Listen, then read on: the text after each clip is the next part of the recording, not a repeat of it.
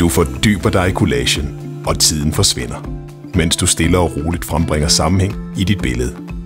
Bliv forført af farverne, figurerne og de mange symboler. Det er ikke vigtigt, om du kan tegne. Det skal ikke ligne noget alligevel. Men det er med til at skabe helhed og binde billedet sammen. I forgrunden bruges neonfarvet maling. Det giver dybde, liv og blikfang. Rejsen ind i billedet kan starte. Fra idé til proces til det færdige værk. Klar til at komme i ramme. Det er en stor tilfredsstillelse, når collagen hænger på væggen. Når vi er kreative sammen, opstår der noget magisk.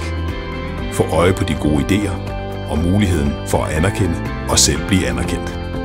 Er det noget for dig?